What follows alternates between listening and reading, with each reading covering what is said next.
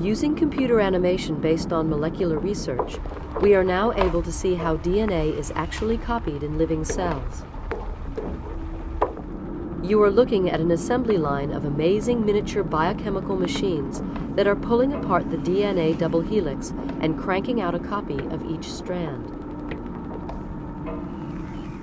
The DNA to be copied enters the production line from bottom left. The whirling blue molecular machine is called helicase.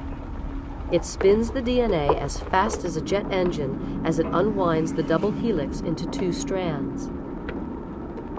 One strand is copied continuously and can be seen spooling off to the right.